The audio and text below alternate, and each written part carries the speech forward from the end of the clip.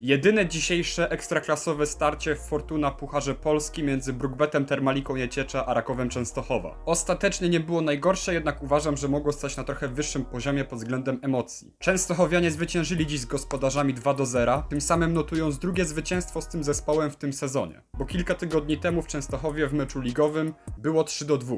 Ale do rzeczy. Wszystkie dzisiejsze bramki padły w pierwszej odsłonie. W ósmej minucie strzelił Sturgeon oraz w 43 minucie będący ostatnio w naprawdę świetnej dyspozycji Ben Lederman. Po świetnym zagraniu Tudora. Chociaż w sumie Sturgeon też jest ostatnio w naprawdę niezłej dyspozycji.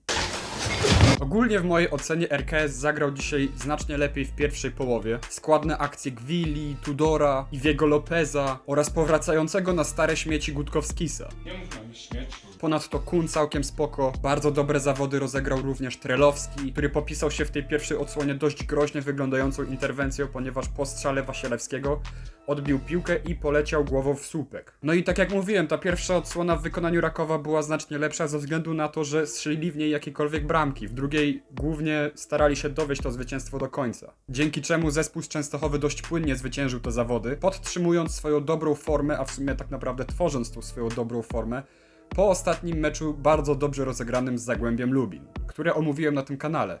Chciałbym przypomnieć. A Brookbet Termalika Nieciecza trochę mnie dzisiaj zawiodła. Głównie przez to, że w Gliwicach w mojej ocenie zagrali całkiem przyzwoicie mimo porażki, ale ponownie tak jak w Gliwicach byli dzisiaj nieskoncentrowani, bo bardzo łatwo wpuszczali w pierwszej odsłonie zawodników Rakowa w akcje ofensywne. Ponadto nie stwarzali zbytniego zagrożenia, jednak druga połowa w ich wykonaniu była znacznie lepsza. Głównie chyba ze względu na zmiany, bo najlepszą dał Sztefanik, bo to dzięki niemu Niecieczanie stwarzali w tej drugiej połowie największe zagrożenie po dośrodkowaniach z prawej strony boiska.